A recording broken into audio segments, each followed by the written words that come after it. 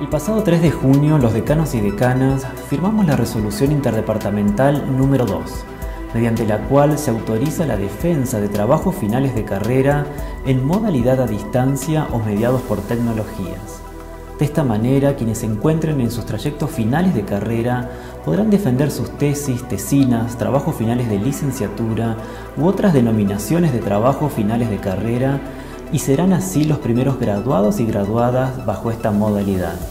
A partir de esta resolución, los departamentos académicos y sedes regionales tendremos los dispositivos necesarios para la sustanciación de estos exámenes conforme las realidades de nuestras carreras y según las reales posibilidades de nuestros equipos docentes y estudiantes.